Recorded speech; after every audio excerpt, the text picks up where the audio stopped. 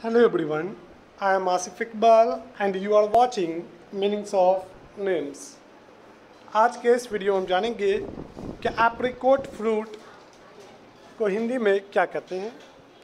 Apricot fruit को हिंदी में बोलते हैं खुबानी फल यानी खुबानी का फल। एप्रिकॉट बोलते हैं खुबानी को तो एप्रिकॉट फ्रूट हो गया खुबानी का फल। आज के इस वीडियो में इतना ही। फिर मिलेंगे एक नए वीडियो में। धन्यवाद।